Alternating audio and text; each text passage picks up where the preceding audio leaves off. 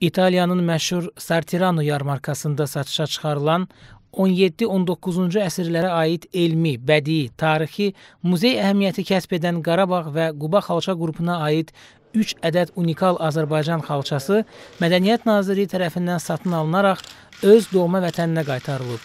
Bu məqsədlə eyni zamanda Cəbrayıl Tarix Diyarşünaslıq Muzeyinin 40 illiyi münasibəti ilə Milli İncəsənət Muzeyində tədbir keçirilib.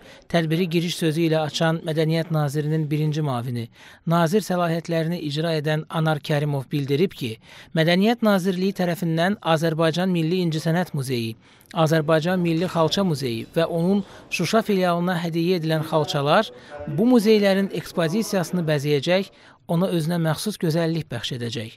Bundan başqa tədbirdə Cəbrayıl Diyarşünaslıq Muzeyinin 40 illiyi qeyd edilib.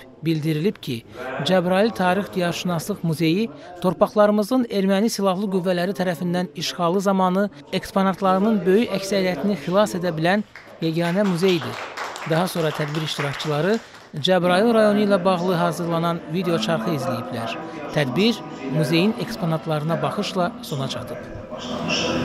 19 minə qədər eksponatı olan muzey öz fəaliyyəti və işi ilə.